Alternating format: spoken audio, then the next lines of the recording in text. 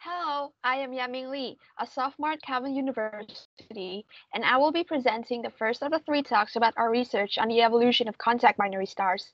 Here, we are going to discuss how we follow the structure of the primary star with MESA. A contact binary star is a system that contains two component stars orbiting so close that they share the same atmosphere.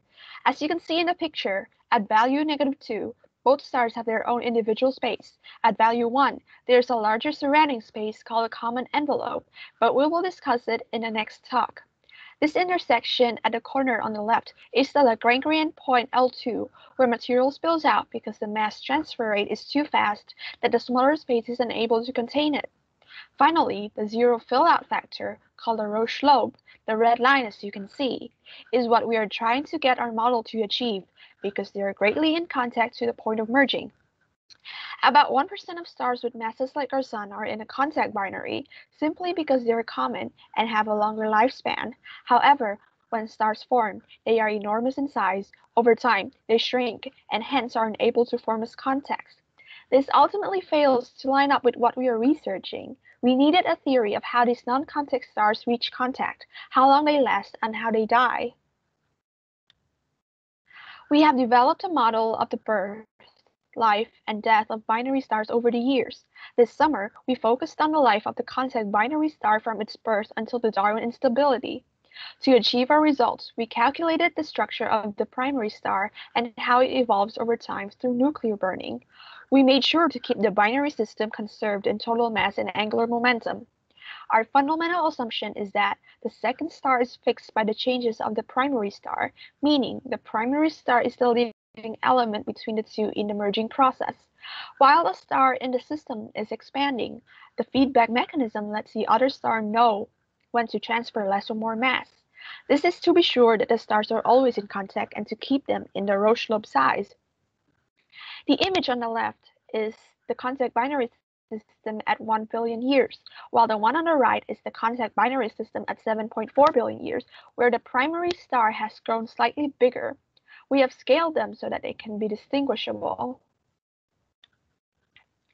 To compute the structure of the primary star, we use MESA, Modules for Experiments in Stellar Astrophysics.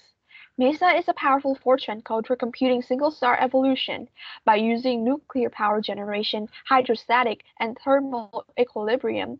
MESA is able to calculate the exact interior structure of a star. This interface includes calculations for rotating stars and stars with increasing mass over time. However, our obstacle was that the rotation and mass transfer rate at each run is fixed. We approach this problem by running the program at a series of time steps, each with their own mass transfer and rotation rate. We input a new mass transfer rate at each run, calculated by adjusting the former mass transfer rate to get a value consistent with the law of mass and angular momentum conservation. By using MESA, we tracked the single-star evolution. We followed one star as it grows in mass and evolves in time, and plotted the process as a function of time. In our previous calculations, we did time steps, yet we did not know the time span for the life of the binary system.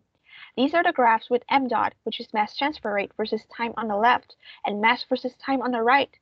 If you look at the graph on the left, for a long time, the m dot is fairly constant. That is when the star is burning hydrogen in its core. Suddenly, the pace picks up when the core hydrogen is exhausted, and what is left is helium. So the star proceeded to hydrogen shell burning and then expanded. The mass transfer rate follows suit and jumps up. These wiggles you see when the m dots are going up are all related to the real evolution of the star when they are consuming hydrogen. In the graph mass versus time, we know how much mass changes over time. It was gradual at first, then the mass transfer rate increases. By looking at the time axis, we know how long this process is going to last and interpret the life of that primary star, ultimately the contact binary system. The interpretation will be explained in the next two talks by Annika Avery and Lauren Henderson. That is all. Thank you for listening to my presentation.